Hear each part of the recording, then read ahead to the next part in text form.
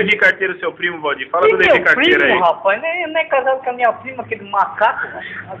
Eu não gosto disso. Não vou com a cara. A galinha do céu da Eu Chama de Valdir Preto é ele.